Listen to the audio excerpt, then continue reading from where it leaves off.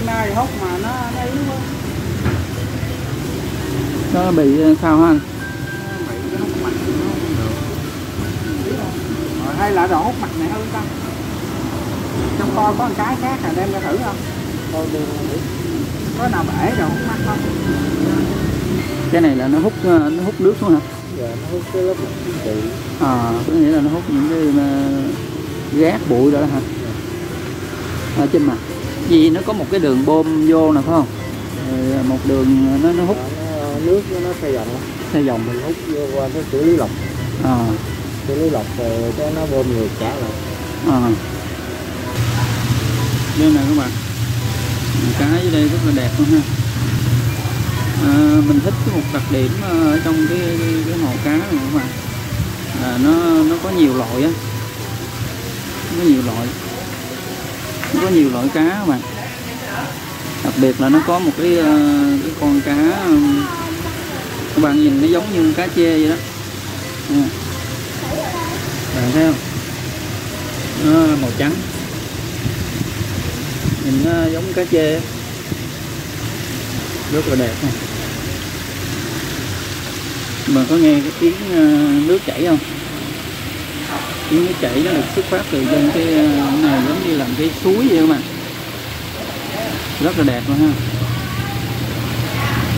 Thì mình vô cái quán này, mình ấn tượng nhất là cái này nữa các bạn.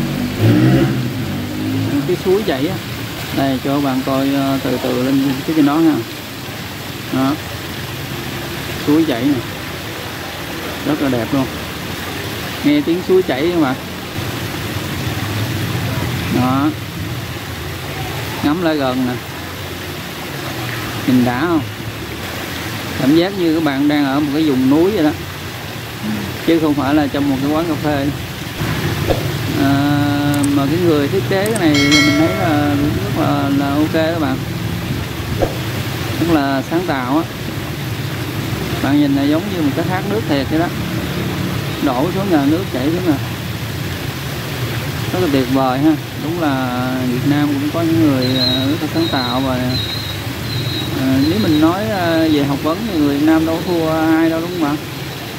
Chỉ cần mình sáng tạo một tí thôi là nó ra được những cái nói chung là để thượng ngoạn rồi.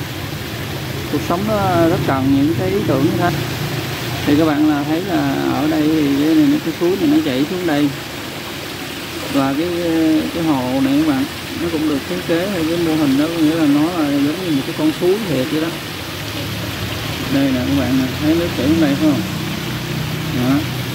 Rồi ở dưới đây có cá nè có cá. Rồi nó kéo dòng qua bên kia các bạn kéo dòng qua bên kia. Đó. Bạn nhìn nè nó giống như một cái đường suối ờ, thiệt vậy đó.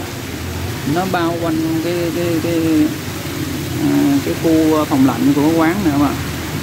Bao quanh ha đây là khu phòng lạnh của quán này. à, thì cái con suối này nó, nó bao quanh cái khu phòng lạnh này. Để mình quay à, một vòng cho các bạn coi ha. Đó. Bao quanh. Và dòng cái con suối này thì à, người ta thả cá nuôi các bạn. Nè các bạn nhìn nè. Đó, thả cá nuôi rất là nhiều ở dưới này ha. À, phía bên đây cũng có mấy con cá ờ, giống như cá chê nãy mình nói đó.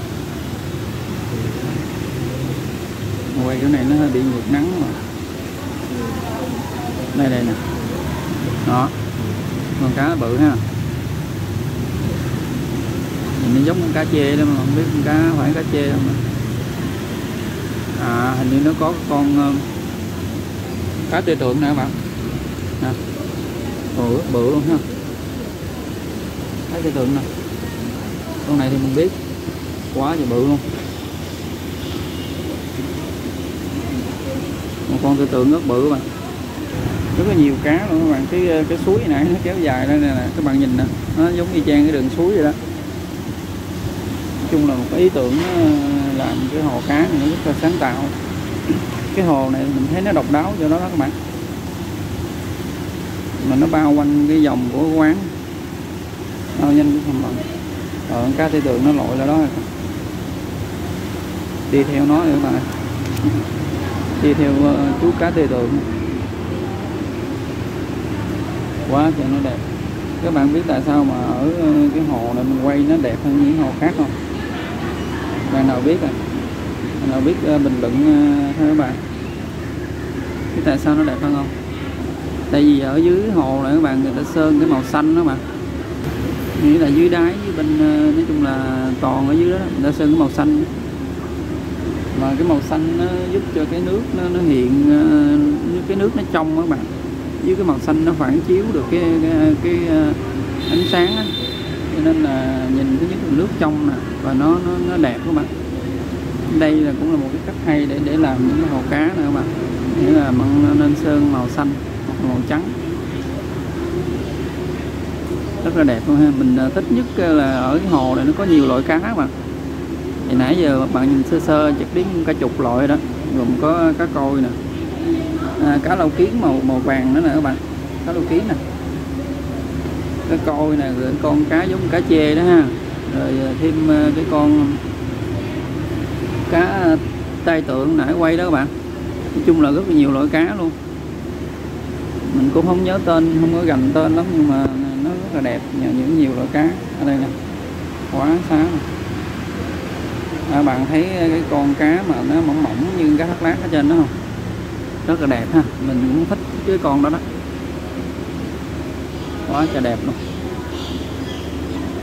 À, một hồi nữa thì mình sẽ nói đâu cái quán này đâu để cho các bạn lại uống ha.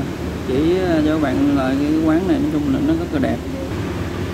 Quán này mình à, loại mình cũng rất thích cái quán này nè bạn lại uống ngồi một cái bàn cũng gần gần chỗ cái hồ cá này các bạn.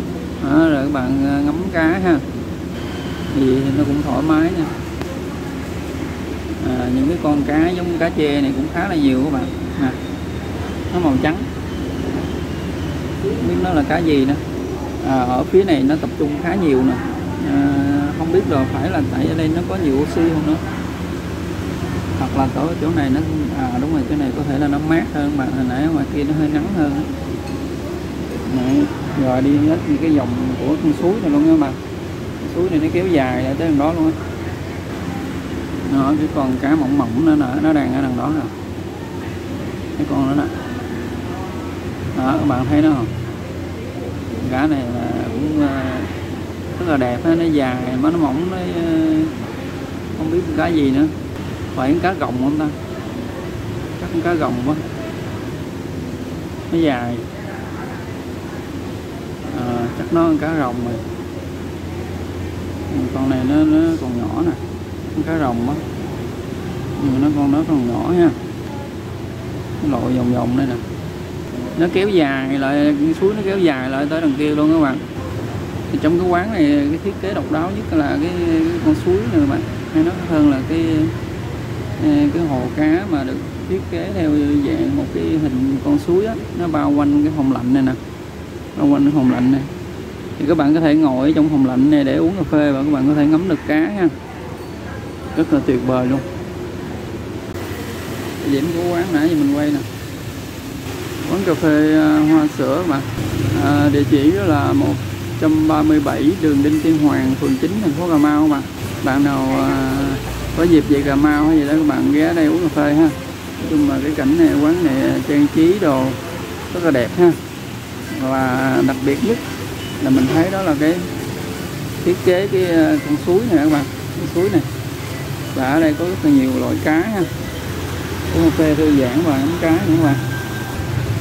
À, ngoài ra nó còn một cái đặc điểm là ở đây nó có thiết kế giống như một cái cầu vậy các bạn. Nên là khi các bạn bước qua cái phòng lạnh đó, thì các bạn đi trên cái cái, cái cầu này nè nó cũng là rất là độc đáo ha. Nó giống như bạn bước qua phòng lạnh này, bạn bay đi qua cầu này thì ở dưới này nó có những cái con cá nè. Cho nên là cái cảm giác giống như mình đi qua cầu à, ngày xưa mà ở vùng quê vậy đó. Nên là nó rất là à, thích thú ha. Đặc biệt là những cái bạn nhỏ mà vô đây nè. Vô đây thì rất là mê những cái cảnh à, cá dưới đây nữa mà à, cảm ơn các bạn ha. Mình nào mới trên kênh mình thì nhớ bấm like bấm đăng ký ủng hộ à, kênh nha các bạn. Bye ha. Tạm biệt các bạn ha. Hẹn gặp lại các bạn trong những cái video tiếp theo nha. Bye.